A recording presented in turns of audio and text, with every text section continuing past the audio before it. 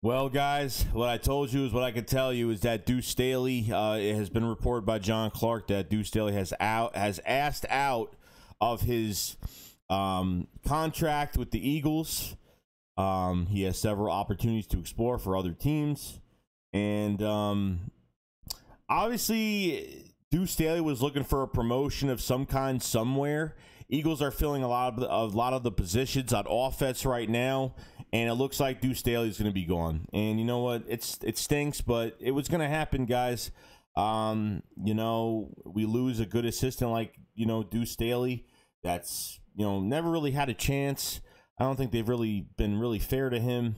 Um, I don't know if he really uh, he was beaten out of that OC job in 18. Maybe he did. Maybe he just said, "Ah, you know what? I'm going to stay as a running back coach." I don't know what the case is with that.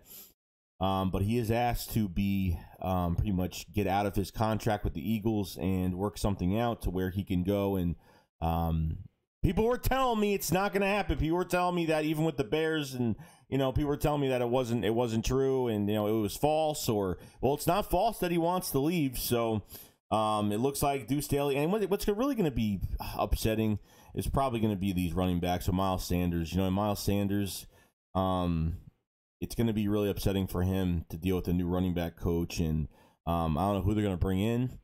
Um, they must have a plan. Um, obviously, they'll have a plan for this. I mean, the, the the the spot has to get filled regardless.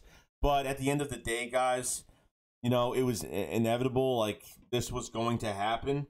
Um, I didn't know if it was going to happen right now or things are starting to get real crazy now because now he's asking to be out of his contract. So um, Duce has been a, a big voice, um, and you know he's there. You know what I mean? And uh, I would have liked to see him promoted to something.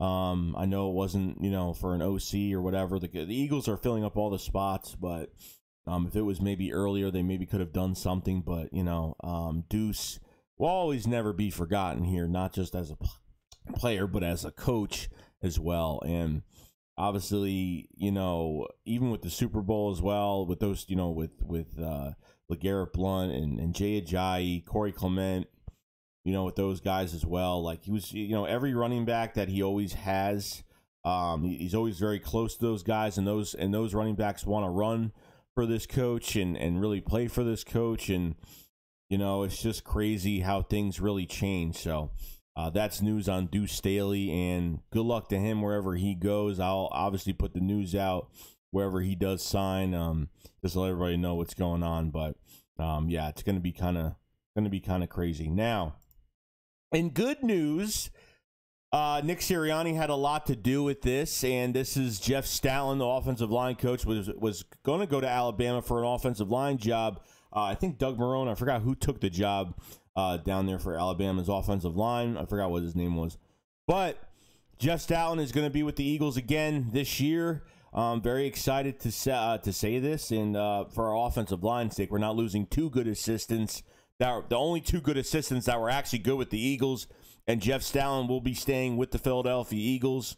Um, has a close relationship with all the guys, and will probably help Jason Kelce not retire uh, this year, which is a good thing because I didn't know if uh, Jason Kelce would retire, but not saying he still could, but I think this would help like a million times, a million percent.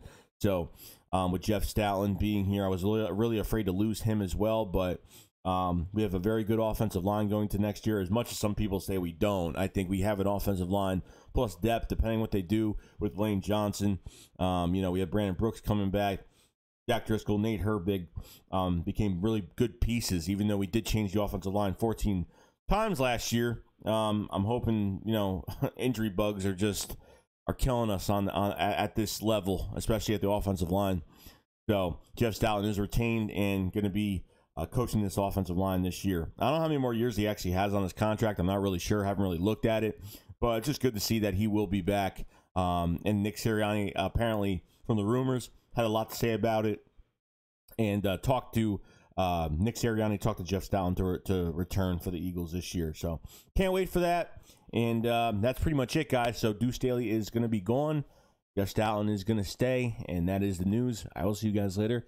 Shakes up, follow slide. Peace out, guys. Peace.